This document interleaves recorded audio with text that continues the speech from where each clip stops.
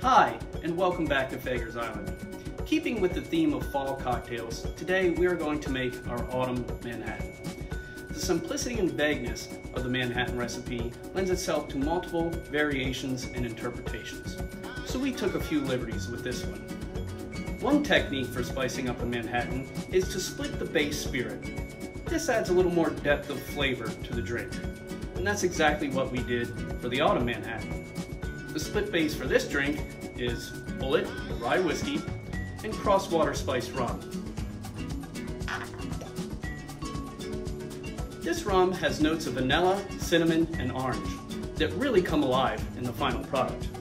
Of course, we add Vya sweet vermouth, and for some additional fall flavor, a little bit of maple syrup. And then we tie it all together with some orange bitters. Let's get started. Okay, to make our autumn Manhattan, we need one ounce of Bulleit rye,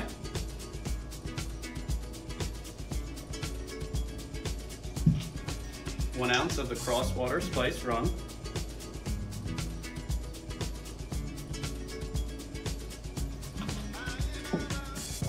a half ounce of Vya Sweet Vermouth,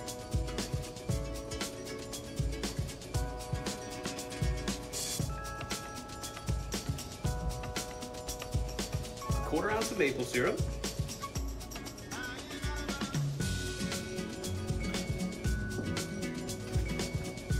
and then a couple dashes of orange bitters.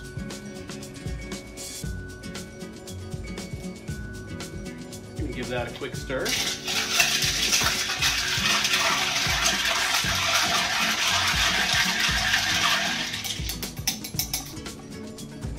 And then strain into a chilled food glass.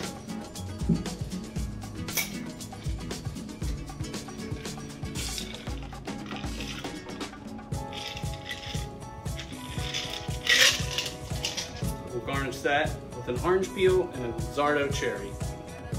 And there you have it, Fager's Autumn Manhattan. Enjoy!